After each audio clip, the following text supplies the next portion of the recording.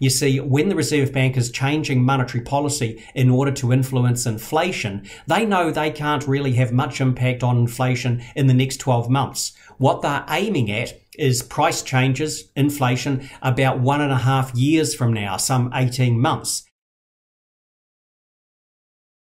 Well, hello again, uh, everybody. Last week, the Reserve Bank did as most people expected and increased its official cash rate 0.25%. So it now sits at 1%. I thought maybe they might try and hurry things along a little bit and increase by half a percent, but you know, whatever.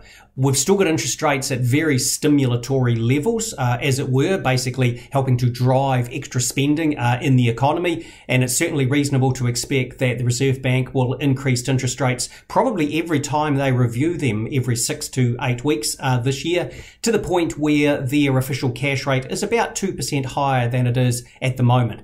That means you should anticipate that floating mortgage rates will end up about 2% above where they are at the moment. One year fixed interest rates maybe 1.8% or so higher than they are, maybe something around about 6% or even slightly uh, higher than that.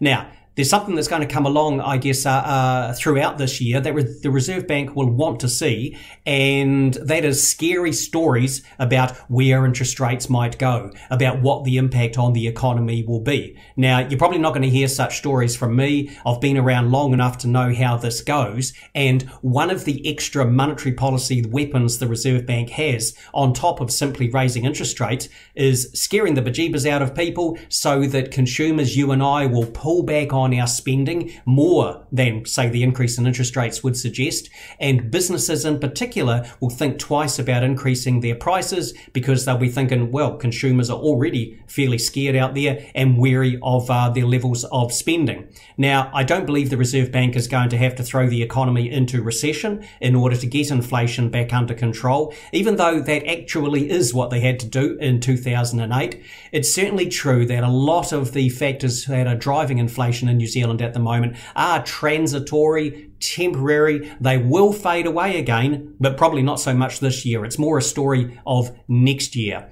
Now that is actually very important. You see, when the Reserve Bank is changing monetary policy in order to influence inflation, they know they can't really have much impact on inflation in the next 12 months. What they're aiming at is price changes, inflation, about one and a half years from now, some 18 months. And so they'll be thinking about their actions now and what they will be causing to happen with inflation in our economy in the middle and the second half of 2023, when we expect oil prices are probably going to be pulling back a bit, when the supply chain disruptions will be significantly um, improved from what we see at the moment, when the house price momentum, well, it's already backwards at the moment, but we'll probably, I think, see a heck of a lot less uh, cost pressure running through the uh, construction uh, sector, and a whole lot of things basically with slower growth in the economy, suggesting that this year is going to be a story of inflation worries, scary stories, and you know, high inflation probably getting to about six and a half percent when we get some numbers in a couple of months' time. But next year is really where us economists are looking at, and I can look at my surveys and already see that some things are moving in the right direction for the Reserve Bank. So, look, the main point I wanted to get across today today is you will see some scary stories about uh, interest rates going to high levels uh, later this year and potentially big falls in, in house prices, when really what's going on is simply that house prices are pulling back from completely unsustainable levels driven by a, a feeding frenzy from the middle of uh, 2020. Uh, and the interest rates, they're going to go higher and maybe they peak in about two years' time and we'll see what happens after that. All the best. Enjoy the rest of your week.